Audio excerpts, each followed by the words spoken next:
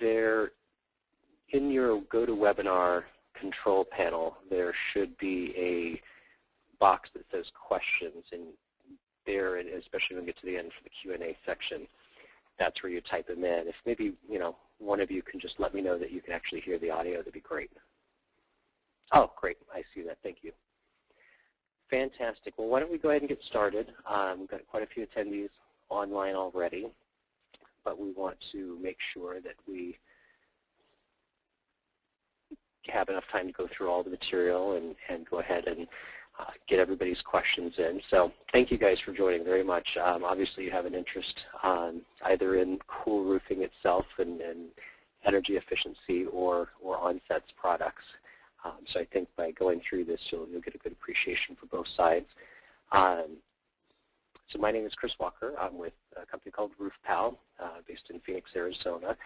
And uh, the folks there at Onset have asked me to put together this presentation to talk about this case study that we had done and, and in the process used uh, one of their products. And we wanted to go ahead and give some free information for folks who wanted to learn more. So why don't we go ahead and get started. So here, just a quick background on, on the project itself. So the Arizona Cool Roof Council uh, had approached me when I was working for a, a, local roofing company called Starkweather Roofing to do some kind of a case study that would compare the energy efficiency of two different buildings, basically to you know create findings um, locally from a local company and a, a, job that was done here in the state uh, to to be able to you know prove whether or not white roofs are more energy efficient than non-white roofs. And they really didn't give us a, a, ton of parameters other than you know basically that. Um, and without giving away the ending, as a result of the study, you know, we, we do feel like we've got, you know, factual evidence proving that, you know, white roofs and, and roofing systems in general can play a key role in energy efficiency. If you want to learn more about the Arizona Cool Roof Council, you can find them online at azcoolroof.com and Starkweather Roofing at, at starkweatherroof.com. The roof system that we'll talk about that was, that was used in, in the white roof building um, is a system from Polyglass called, it's a Polycool line of products that they have. Um, the specific system that we used, um, the, the, the, top cap sheet had a, an SRI value of 84. And for anybody who may be familiar, you know, that's not really high. It does meet all of the standards and is considered a cool roof, but there are materials that can be used that, that give much more uh, energy efficiency than that. And, and as if you're in a position where you're considering doing something like that, you really want to look for a minimum of 90 and, and, and really getting into more of the 100 range on that solar reflective index. And we'll, talk a little bit about that more later on. Um, you know, the systems, you know, like, like all roofing systems you would expect, it's highly watertight and durable, and it meets all the current proposed energy performance standards through Energy Star, the Cool Roof Rating Council, and it meets California's Title 24 requirements. And then obviously to get more information, you go to polyglass.com. A uh, quick word about Onset. So they actually make the data loggers that we use to measure the, the temperatures for the study. And they are the leader in portable data loggers. They've been around for a long time, 30 years. Um, they've sold over 1.5 million Hobo brand data loggers, and, and they've got different products for a wide range of environments. Um, so we used one of them, but they, they really have uh, a nice range of, of, products to offer. And you can learn more about that at onsetcomp.com. So we really wanted to create conditions that would make for, for as close to a perfect study as possible. So we had a, a job that we had done for Nationwide Insurance, their, their corporate headquarters, which is in Scottsdale, Arizona, in a, in a big uh, uh, office park. And uh, big job. We got a lot of great publicity with that, and so and we had a good relationship with the, the facilities management over there, as well as the folks who manage the building next door, which is an identical building. Um, it just had the old roof system, so we thought this is great. They're side by side. Um, the only thing different between the two is the roofing system. So as you can see with the pictures here on this slide, you know, the similarities, you know, are pretty obviously. They're in the same corporate plaza. They have the same matching concrete roof deck. The building shape and size are, are virtually the same. They're exposed to the identical weather conditions. The difference is the roof. So we thought this is perfect. Now, what was different between the two on the nationwide building, the white roof, uh, when we re-roofed that, it, we had put in a 3-inch R19 ISO board for the insulation, and then the poly roof, uh, the polycool roof system, which had the Elastoflex you know, base sheet and then the polycool light cap sheet. And again, with that SRI value of 84, um, it's good, not fantastic. The existing building next door had 4 inches of R20 roof insulation, so better insulation, and a black ballasted EPDM roof, and it was covered with 2 inches of river rock, and I'll actually show you what that looks like up close here on the next slide.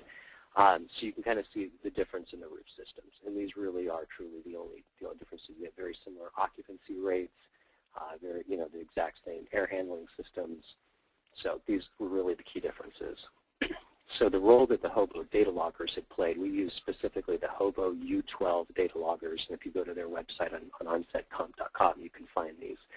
Um, we use those to record the roof surface temperatures as well as the stairwell temperatures. And, and we'll get into more of, of, exactly why that was. But you can see here in the pictures on the white building, um, you know, placing that, you know, and if you were to be able to zoom out, you would see this is you know, center in the building as much as possible, um, away from the walls, away from, you know, shadows um, as much as possible. Um, and then the middle picture there with all of that river rock and digging underneath to get down to the actual roof. And then in the stairwell, we actually placed the, uh, the, the, part of the, the data logger unit um, that actually captures and stores the information, and the sensors go off from there. Um, the data logger that we used, you know, it's got 12-bit uh, resolution, so really accurate, um, huge memory. Uh, you know, we collected a lot of data for a whole month, and it didn't come close to filling that up. Very portable. The actual unit itself is about the size of your, your computer's mouse, um, very small. Uh, programmable push-button start. You literally, once you've got it set up, um, you just go ahead and hit a button to start, and, and you're good to go. Uh, when you're ready to download it, there's a USB cable, plugs right in your computer, starts downloading it. The battery lasts a year, and it works with their, their uh, proprietary software that you can use for graphing and analysis of data, which works out really nice too.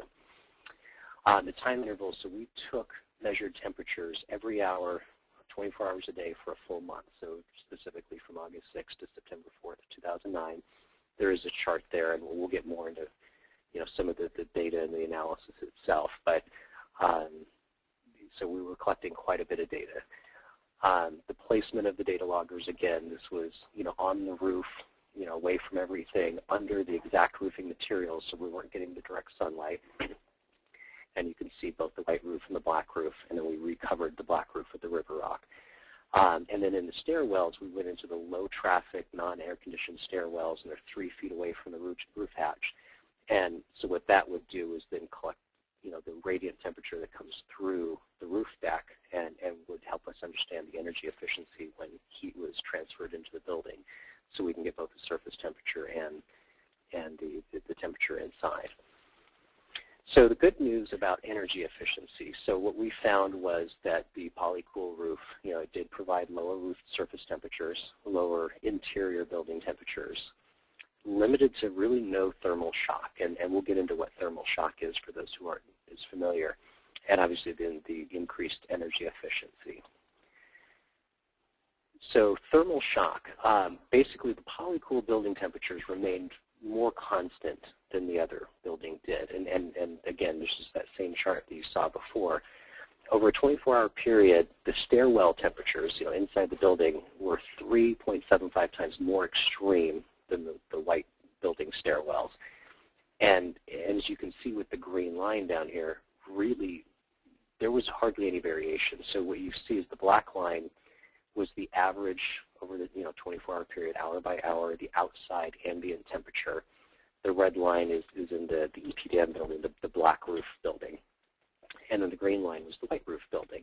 And you can see there's just really no variation, you know, a, a you know, a degree or two up and down. So what thermal shock really is, it's, it's when you have a rapid change in temperature, you get that quick expanding and contracting, and, and that will wear down you know, the, the building itself. It'll, it'll uh, impact the way you have to heat and cool your building, so on and so forth. So um, that kind of gives you an idea of, about thermal shock. The increased energy efficiency, so, you know, over the course of a 24-hour day, you know, day and night, the white roof building, the polycool roof, uh, the surface temperature was, you know, 4.62% cooler than the other building overall. During the business day, kind of the 8 to 5 in midsummer, the surface temperatures were nearly 7% cooler. And at the very hottest you know, point of the day, uh, the, the, the white roof building you know, was 8.49, almost 8.5% cooler. So again, going back to you know, the conditions that were involved, the materials that we used weren't you know, having the, the utmost uh, you know, SRI value for reflectivity, but you could see this this was making a big difference, and, and uh, you know, would then you would assume would translate into you know lower cooling costs. Inside the stairwell, so heat that's being transferred into the building, again, you know, really consistent. What this chart is showing you, the green line is the white building, obviously, and this is hour by hour on average how much change in temperature happens. So if it if it went up a degree in an hour, you'd see it go up from you know one more line. So you can see on, on the green one, really you have no more than half a degree difference changing from one hour to the next. But in the, the black roofed building, you can see that there's a, a much greater you know, rate of change in the fluctuation. So you know, temperatures are changing through throughout the day, um, and it's directly coming right through, you know, that, that big concrete roof deck uh, and right into the building, and then affecting, you know, the, the equipment used to, to keep the building cool. Um, so our guess was this was going to reduce the kilowatt usage for, for cooling the building, and, and it really did. It actually reduced it by 7.79%. Um, so going from August of 2008, we were able to get their utility bill for the, the nationwide building the, the white roof. They had previously used 719,000 kilowatts, and then the following year it went down to 663. So that was a savings of, of you know, $5,450. It's a big building. Um, but what we were able to find out, all other factors remained constant. Nothing was changed about the building. The occupancies changed the same. The only difference was the roof system, which was great. And so the facilities uh, technician, the lead guy there at, at the Nationwide building, had, had given us this nice quote, uh, basically saying that they, you know, were showing a consistent monthly drop in their kilowatt usage, um, and that he was estimating before seeing the data that it was probably about 50,000, and it was just slightly over that, which was a good guess by him um, that their building AC demand had dropped tremendously, that their cooling tower load had decreased so much that they rarely had all four towers online. And for those folks who, who do facilities work and you get a sense of how all that is, is run, um, with the old roof, they were using all four towers from June to October just to you know, satisfy demand, and now they hardly ever have that fourth tower online. So, you know, that makes a huge difference in terms of your energy consumption and then just the wear and tear on your equipment as well. Um, so overall, what we were really able to, find was that even with you know what we might consider in this situation uh, a worst case scenario in terms of the materials, the building construction, um, so on and so forth, that we could see an obvious difference with you know a white roof to a non-white roof. Um, you know, it, it affected the thermal shock, the energy efficiency, the roof surface temperature, which, you know, can then lead to deterioration of, of the equipment, the people who have to work up there, all the different technicians. Um, it makes a difference. Um, in the actual case study itself, which I plan on sending out after this webinar to everyone, um, where it gets in a lot more detail for anybody who's interested to see that. It gives a lot more data on, you know, the actual surface temperatures, and, and you know, you could you could see how extreme it got. I believe, without looking, cheating with my notes, that on the Black Roof building, it was actually getting up to near 180 degrees on the surface during the hottest point of the day. I think if you have to work out there in that, pardon me, but the, the difference with um, with the white roof building, although it's it's bright and you need sunglasses on there, it's so much cooler. When we were actually setting up the data loggers, um, we did it on the white roof building first, and you know, it's warm and it's bright, and we got to the other roof and it was just unbearable. And um, huge difference. I mean, you could just feel it, and now we have the data to, to back that up. And if we were to redo the study using, you know, a 100 SRI value, you know, roof coating or other roofing materials, um, you know, I think the numbers would be, you know, significantly more uh, obvious uh, of, of, the benefits of doing this. You know, does it actually pay for itself? Not right away, but if you do need a re-roof building and you're in an extreme climate like Arizona or somewhere in, in, a, in a, warm desert-type climate, um, that's definitely a way to offset a lot of those costs because you're going to see the energy efficiency. And I guess the, the, the opposite would be true if you're in a really cold climate. You might actually want to go with, you know, with a black roofed building. Um, and I'll send out, you know, uh, an email after this webinar and, and, give you this information, the data that we actually pulled from the data loggers. You can see that, and, and some other interesting information about cool roofing and, and some things that are out there. And if anybody was to have any follow-up questions, obviously you can contact me anytime. Um, but really, uh, you know, overall, that was, you know, what we wanted to, to present was, you know, a very high-level executive summary of uh, what the study was about without getting into all the, the, the really low-level details. But we do want to open up to any questions. Um, and again, there's that, that question box in your, your GoToWebinar control panel. Um, prior to the webinar, a few people had sent in some, some questions. So we'll go ahead and start with that, but give you guys time to go ahead and start typing your questions, and then I'll go through and, and answer them um, in the order that they come in. Um, so we'll start with a few of the questions that, that came in previously. Um, so a gentleman named Rowan from the, the Nile Center for Alternative Technology, looks like he may be um, well outside the U.S., but he had asked, you know, how does the degree of white impact heat absorption, uh, otherwise, you know, energy efficiency, and do small additions of color like an off-white or you know, maybe even a cream make significant rise in the surface temperature? So really the short answer to that is, yeah, pure white is going to be the best. And it's not just the color, but it's, it's what makes up the materials. Uh, but to be considered a cool roof, the reflectivity needs to be a minimum of 70%. Uh, and, and so only a pure white or an off-white or some really light cream colors would actually meet the you know the standards from Energy Star and the Cool Roof Rating Council and, and things like that. Um, you know, typically like a beige colored, you know, gravel roof or, or the white shingle granules that you might see on some houses uh, or the silver sheen uh, ones. The maximum you're ever going to get out of that is maybe 65 percent. So, you know, to be really considered a cool roof, you're, you're looking at, at that 70% reflectivity and looking for the white or off-white or really light cream color. So I hope that answered, um, you know, that question on there. Um, he actually had a second question, too, was about, you know, if surface texture makes a difference. And it does. Um, even when you do a a coating with the granules in there. And, and, the reason you would do that is if you don't want it really slick on the roof and you want to give it some kind of traction.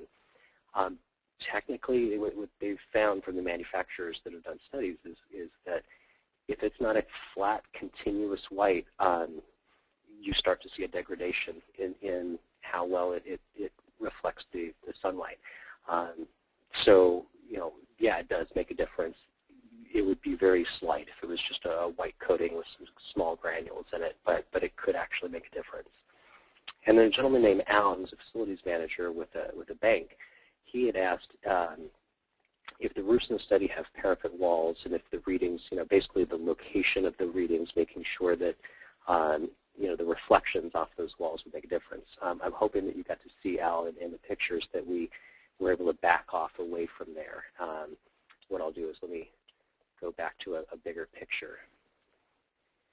And I don't know if you can see my mouse cursor or not, but in the lower right-hand corner where that kind of upside down U makes a difference is, is directly into the center as possible is where the roof hatch is, and that's where the measurements were being taken. So this was quite a bit away from uh, the parapet walls, and we don't believe that that had any effect um, on, on our, our temperatures being taken. So I hope that answered your question. Um, so those are the questions that were submitted beforehand, and we've got some questions that have popped up. So uh, we've got a question from, from Ted who had asked, uh, you know, what was the cost per square foot of the cool roof installation? Um, Ted, I'm going to have to get back to you on that, and I, I can get that information. overall, and you can kind of get a sense of the size of this building, I believe the total cost was somewhere in the neighborhood of about $200,000 for everything. And that included all of the tear-off um, and, and then re-roofing the whole thing. But if you had a, and we can follow up via email or something, but if you had a specific question about you know, the cost of materials, they may be different in different regions, and it may depend on your relationship with the suppliers but I can get you a ballpark that would kind of give you an idea. And, actually what I plan to do is maybe just collect all these questions and answers and send them out to everyone. Um, so I'll get more on that. And then you had also asked what percent savings over the annual cost was the estimated 50,000 kilowatt hours. So from there, so we had, and I hope you saw that in the presentation itself, but let's go back to that slide um, where we had talked about that. So you can actually see, so it was 719,000 kilowatt hours before, and we took 50,000 off of that. And so, you know, if we do, you know, the quick math, we can we can figure out um, divided by 719. That looked like that was about a 7%, um, you know, savings for kilowatts. Now, obviously, year to year, your uh, utility company will will change their rates, and so we wanted to really keep it, you know, down to the kilowatts. But just to give you an idea, for them that year, that was a savings of almost $5,500. Um, Patrick is asking, you know, what is a typical cleaning schedule to maintain the, the solar reflective and the, you know, the SRI value? Really, really good question, Patrick. Um, when you're when, a, when whoever you use for your roofing contractor talks to you about general maintenance and roof cleaning, it's a real thing. Um, they're, they're not just trying to, to make more money off of you. Beyond just clearing out the, the gutters and the crickets um, so to make sure that the drainage is working properly and, and clearing out all of the, the, the valleys, um, actually going through and power washing it is a really good idea. The cleaner you've got it, the, the better it is. Dust is going to build up um, other debris will build up, and it would impact the energy efficiency. Plus, it really affects the drainage, and then that's where you know you could speed up the process to start getting leaks. So you would want to do this every at least once a year. Um, a lot of roofers would recommend every six months. It would depend on you know, if there are trees overhanging, you know, if you have somebody go up there every once in a while and give you an idea of how dirty it is, um, depending on where you live and, and, and what's around the building. You may want to do it every six months, but at least once a year I would ask for a roof to be clean. And they will usually do it for anywhere between one and two cents a square foot in most cases. I hope that answers your question, Patrick.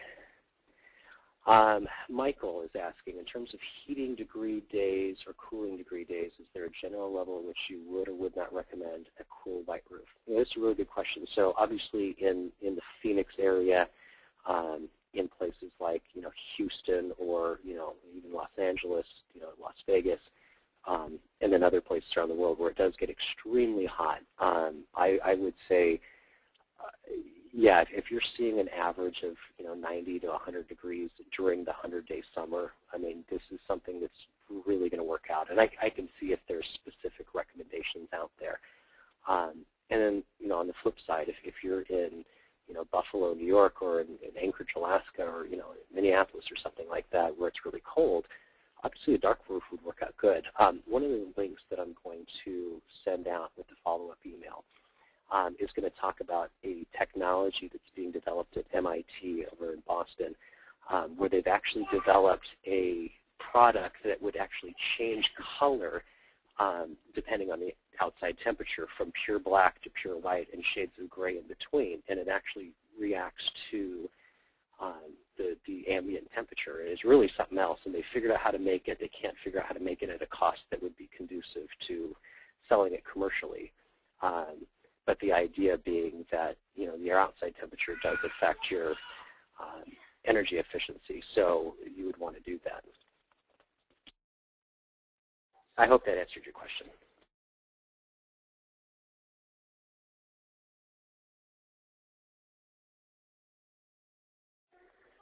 So the next question was coming in from Brian.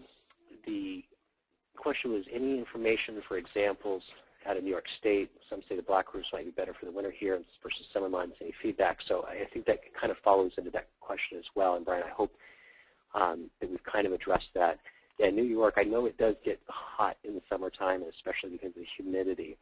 Um, but in the, the wintertime, it's so cold that you're right. Maybe, maybe a, a cool roof, per se, wouldn't be the best uh, situation there.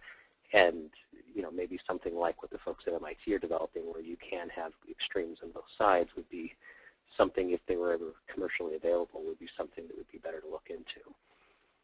Um, Patrick is following up with, uh, is the 7.8% kilowatt savings only for summer months? What are their winter impacts? Really good question. Yeah, this study was looking specifically at the summer months. Um, obviously in the wintertime right now, so we're on the first day of March and it's 75 degrees outside, it's not that bad. Um, even on our coldest days when the high is maybe you know 40, 42, um, yeah, obviously there's there's very little impact there, and actually there are times where, believe it or not, we actually turn on our heaters. Um, and so that, you know, I guess, could have somewhat of an adverse impact, but I, I really don't think that that, um, you know, would be the case too much in this kind of a climate. Um, you know, really when you get into cool roofing, what you're really looking at are, are, are the hotter climate areas. If you're, you know, somewhere that really doesn't get anywhere near 100 degrees, this probably wouldn't be right for you. Um, you know, just in that sense. I mean, it, it may not be right. If you have to re-roof anyway, and, and this is something that you, you know, think would be more beneficial than a black roof, then, you know, this would be a good choice to make if you have to do it anyway, I wouldn't just go out and re-roof a building simply because you want to get some energy efficiency savings. Um, that, that wouldn't be the way to go. And I hope that answered your question, Patrick. Did we have any other questions from anyone? Or any other comments or I'll give a second here in case anybody's typing anything. Um, but overall, I mean, that was um, that was the you know the presentation itself. Um, I hope everybody you know enjoyed that. Uh, I, you know, we really had a good time actually putting together the study. We're really appreciative of the folks at Onset for asking us to do this webinar. Um, I'll go ahead and, and send out information to everybody afterwards with um, some of the follow-ups to the questions and, and, more detailed answers where that you know was needed.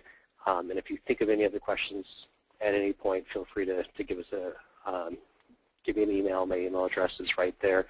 And uh, you know, really appreciate your guys' time. Thank you guys so much, and we'll uh, talk to you down the roof or talk to you down the road sometime. Oh wait, there was one more question for anybody who wants to hang on.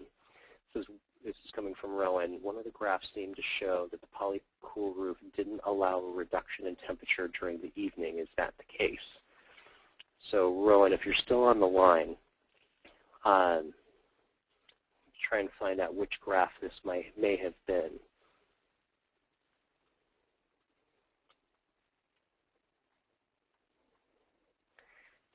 Rowan, was it this particular graph right here? I don't know if you're still on or able to type in in the question box. Yes, that's the one. So yeah, basically what this graph is showing is that there really wasn't any variation. It didn't heat up during the day when it was getting hot outside, and it didn't cool off tremendously at night either. You could see a little bit of spike early in the morning around 8 o'clock when the sun was really coming out, and again at the end of the day when it's at the hottest at 5 o'clock, but we're talking less than or as much as half a degree. And then as the sun set, it would cool off as much as half a degree and then go back to where it was. So keeping the stability of the temperature uh, prevented, you know, the thermal shock right there and also affects, you know, the air conditioning. It wasn't kicking on and off all day because the, the, the interior of the building is, is heating up and cooling off um, you were able to keep it really steady. And as far as I know, and I'm not an expert, but I believe with air conditioning systems, they kind of say, you know, pick a temperature and keep it at that. Um, and I think that this, this would apply. So I, I think that's actually a good thing. Um, was that your sense of with your question there? Or?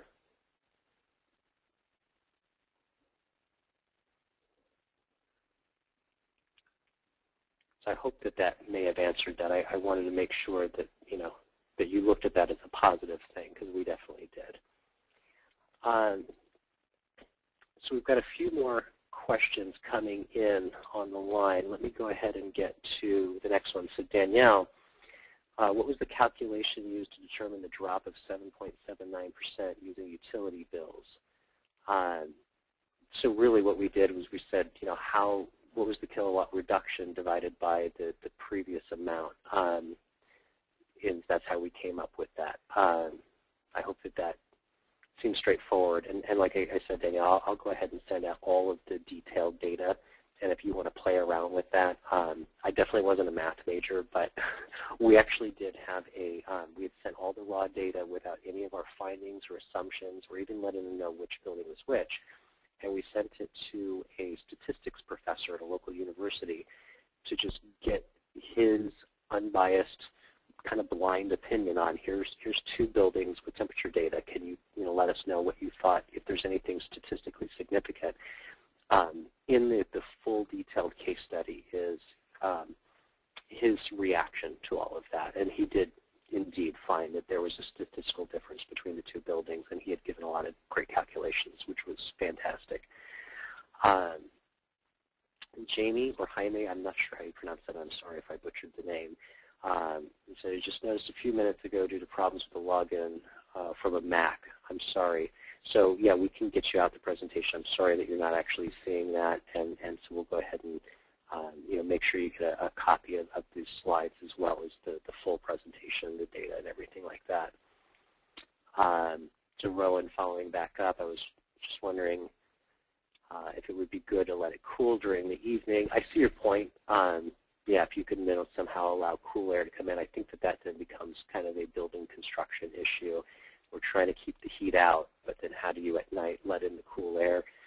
Um, you know, yeah, what we were trying to do is go for obviously, you know, consistency and keeping whatever the temperature was outside from impacting it at all. It would be interesting to go back in the wintertime and do this exact same study and see what the difference was during cold temperatures with these roof systems. Uh, and that might actually be something I might broach with Starkweather Roofing and, and Nationwide Insurance, just to see if, if the opposite, you know, the opposite time of the year has any effect. Um, Al has, uh, yeah, so he wants to know if the slides are available for printing later. Yeah, we'll go ahead and get you a copy of the slides, not a problem. Um, great, everybody else is just confirming that we're getting the questions answered, so that's good. Did anybody else have any other questions or, or comments, concerns? Um, you know, I really, you know, appreciate everybody's time and, and, and, interest in this, and, you know, we found it to be a lot of fun, um, you know, putting the study together, and it's gotten some, some good, um, you know, eyeballs and, and, web traffic and questions into the folks that were involved, including Onset and Starkweather Roofing and the Cool Roof Council. And um, so this is something we definitely look to do again in, in a different way. Um, and, you know, like we were saying, maybe do a, winter version of this uh, just to see, you know, what it comes out with. And if we do do that, then we'll go ahead and post it on our website. And, um, you know, we could even, you know, send it out to this distribution list. Uh, I've got that. So great. If there's no other questions, then we'll go ahead and, and close this down. Um, we would definitely expect soon, if not, you know, definitely within the next 24 hours to see an email from me. And if you think of any other questions, you know, feel free to contact me anytime. Thank you guys very much.